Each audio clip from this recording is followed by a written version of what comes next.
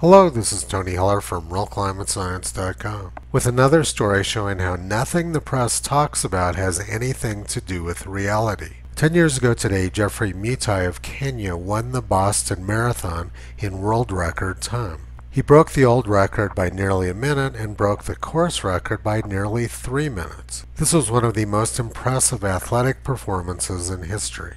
But two years later, several weeks before the race was to be run, experts predicted that global warming was going to slow the runners down. They said, since 1924, winning times for the Boston Marathon have grown steadily faster. Winning times may nonetheless slow in the future as the climate of Boston continues to warm. This is a fairly typical climate science study. They ignored the existing trend and relied on speculation about the future. Let's look now at the actual data. Blue Hill is the closest United States Historical Climatology Network station to Boston. The number of April 70 degree days there peaked 80 years ago in 1941, and over the past decade they've dropped sharply. Same story with the average maximum April temperature. Temperatures there have dropped sharply over the past decade. And it's the same story for the entire United States.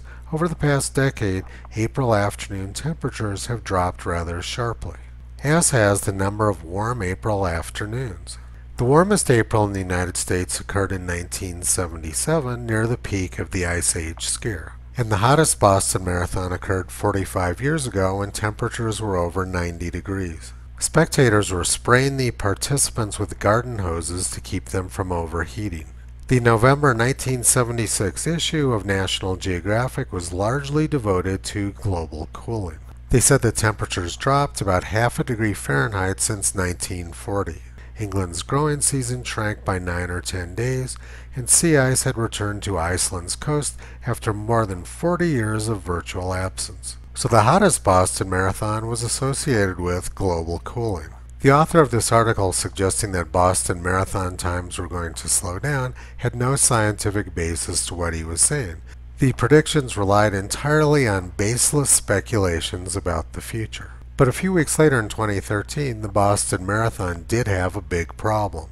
One of the immigrants whom Barack Obama would have described as being a young dreamer blew up an improvised explosive device, killing three people and injuring hundreds. This led to all of Boston being locked down. It was the first test of a large-scale lockdown in America and it was very successful. Government convinced people that depriving them of their civil rights was for their own good.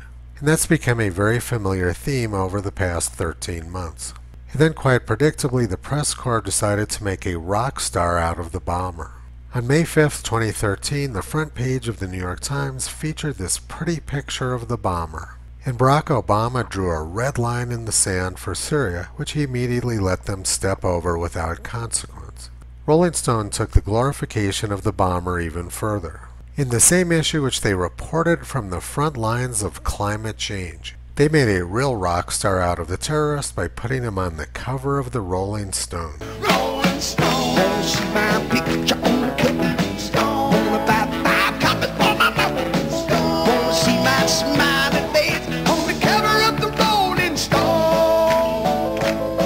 Normally the Boston Marathon is held the third Monday in April, which would have been two days from now.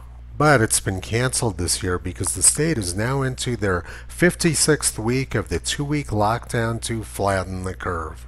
And it's been snowing in Boston this week, so I don't think global warming would have been a huge problem for the runners if they were allowed to run. However, you can never be too careful about coronavirus. While hiking this morning west of Cheyenne, Wyoming, I saw these two women from Fort Collins, Colorado. I'm not sure why they drove an hour and a half to come hiking in Wyoming, but I've been seeing quite a bit of that. I took this picture with a long telephoto lens from about half a mile away. She was wearing a mask and they had the dog on a leash. Based on the fact that there weren't any other tracks in the snow or cars, I'm quite certain I was the only person within several miles of these women. Yet they had the dog on a leash and she was wearing a mask. These Colorado residents are quite well trained to be chained and muzzled. Temperatures were around 0 degrees Fahrenheit when we started hiking this morning in the middle of April. Kyrie and Toto didn't find a lot of global warming today. We've been having a rather impressive cold snap here in Cheyenne over the past three months. Based on the current weather forecast, it looks to me like we're going to have the fewest number of days over 40 degrees Fahrenheit or 5 degrees Celsius since 1929, and much of the country is experiencing similar cold. Mid-afternoon at Taos Ski Valley, New Mexico, the temperature was 0 degrees Fahrenheit or minus 18 degrees Celsius. That's incredibly cold for April, and they're having lots of snow. This was a webcam picture taken there this afternoon. Children aren't going to know what the tops of trees look like if the snow keeps falling. The current forecast is that every state except for about six or seven is going to get snow before the end of the month. Once again, that's pretty impressive for April. And it's very cold in Europe too. France had a record freeze this week which destroyed much of their wine grape crop. Let's look now how the press is reporting on all of this cold. This is the upcoming issue of Time magazine. They say that the earth is on fire. As I said at the beginning of this video, nothing the press is talking about has anything to do with reality. At this point, it's all propaganda all the time. 100% across the board fake news. They cover up the real stories and instead talk about complete nonsense. Toto has been pulling back the curtain on this insanity for the past 13 years. You can visit him and Kyrie on the web at realclimatescience.com.